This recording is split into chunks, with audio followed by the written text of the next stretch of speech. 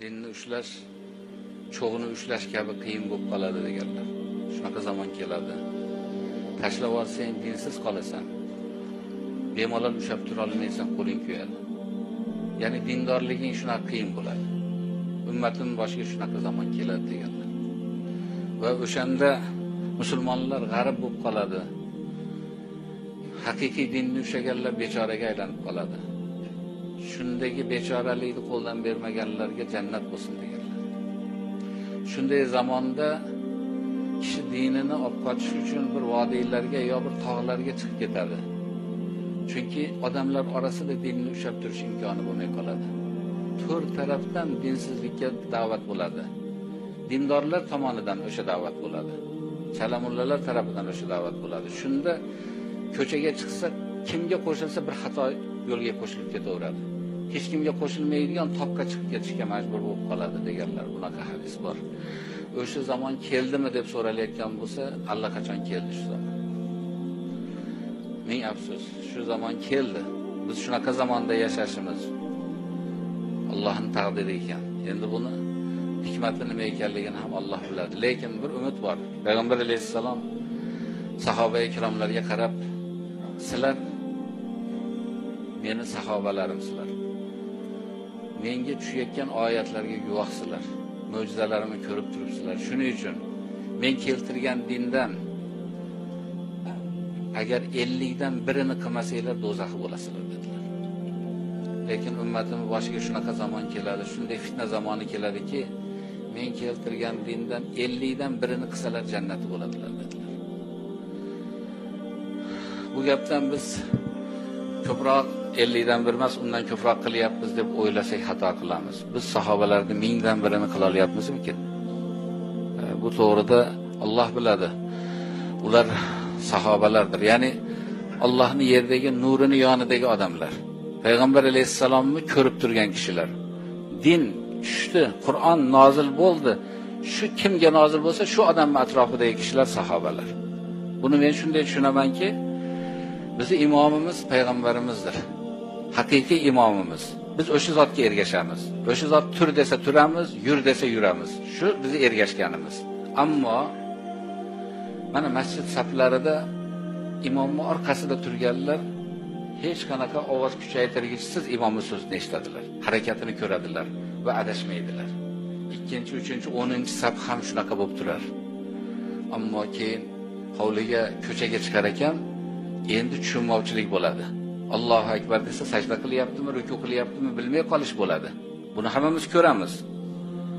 Men ta'bir joiz bo'lsa shunday tushunamanki hozir janob rasululloh sollallohu alayhi vasallamni madinaga hijrat qilganlariga bir ming to'rt yuz yigirma yetti yil bo'ldi. Men o'sha har bir yilni musulmonlarni bir safi deb tushunsam biz bir ming to'rt yuz yigirma yettinchi safda turibmiz. Endi rasulullohni aytgan gaplarini bizga o'rtadagi so'pilar yetkazyapti. Hushyorlari bor to'g'ri yetkazishadi. Beparvolari bor xato yetkazishib qo'yadi. Biz o'shalarni gapi bilan ruku qilamiz o'shalarni gapi bilan sajda qilamiz. Ya'ni diniy amallarni qilamiz. Demak bu yerda haligi yorug'likdan biz shu qadar uzoqmiz. Bir ming to'rt yuz yigirma yetti yil uzoqda turibmizda. Chiroqni yonida ignani ham ko'rasiz. Nariroqda kattaroq narsani ham topolmay qolasiz. Uzoqlashgandan keyin endi g'ira shirada odamlar to'g'ri yo'lga ketyapman deb butun jarlikka qarab ketaverishi bemalol mumkin bo'lib qoladi. Biz shunaqa holatdamiz. Lekin bir tasalli bor. O'sha imomimiz aytgani qilgan ishi qur'on va hadisda qo'limizda turibdi. Ana shuni to'g'ri anglasak to'g'ri biladiganlardan o'rgansak va to'g'ri amal qilsak rasulullohni o'zlaridan olayotgandek bo'lamiz. Ammo o'zlaridan olgan sahobalardek bo'lolmaymiz. Chunki ular ko'rganlar rasululloh sollallohu alayhi vasallam vujudlarini. O'shaning uchun mana bu zamon biz yashayotgan zamonimiz juda hushyor bo'lishimiz kerak musulmonlar. Musulmonlarga qarshi fitnalar ming xil fitnalar uyushtirilyapti. Shuni kofirlar musulmonlarni qo'li bilan qilyapti. Eng toza eng adolatli dinni terror deyishyapti boshqa deyishyapti. Shunga musulmonlar dalil bo'lib berishyapti. O'shalarni qo'lidagi qurolga aylanyapti. O'shanaqa kofirni qo'lida qurchoq bo'lib qolganlar hammasi yomon odamlar emas faqat johil odamlar. Kimni qo'lida o'yinchoq bo'lganini bilmay yuribdi ular. Mana shundan ehtiyot bo'lish kerak. Shuning uchun qur'on va hadis qo'limizda turibdi. Buni hech qaysi kofir yo'qotolmaydi olloh saqlayman deb va'da qilgan. Alhamdulillah mana shunday buzuq zamonda ham alloh taolo qur'onga bir harfiga zaha yetkazmay saqlab turibdi. Bizni vazifamiz shu qur'onga hadisga muvofiq bo'lish. Demak din yo'qolmaydi qur'on hadis yo'qolmaydi. Inson qur'onga qancha yaqin bo'lsa baxtlidir uzoq bo'lsa baxtsizdir. Musulmonlar qur'on hadisga qancha amal qilsalar shuncha aziz quvvatli bo'ladilar qancha bid'at xurofotlarga odamlar chiqargan yo'llarga yursalar shuncha baxtsiz bo'ladilar biz shunaqa zamonda yashayapmiz o'shaning uchun biz o'zimiz farzandlarimizni shu zamonda shu holatda buzilmasligi uchun doim Allohdan so'rashimiz kerak va Qur'on hadisni o'rganishimiz kerak, bilganimizni yetkazishimiz kerak. Va Allohdan so'raylikki, Alloh taolo o'zi adashtirib qo'ymasin. Bo'lmasa holimiz xarob bo'ladi.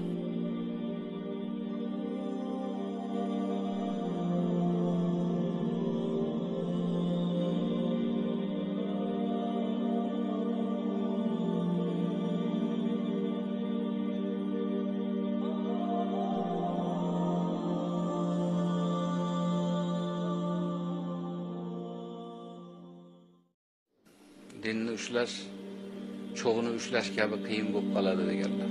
Shunaqa zamon keladi. Tashlab yuborsang dinsiz qolasan.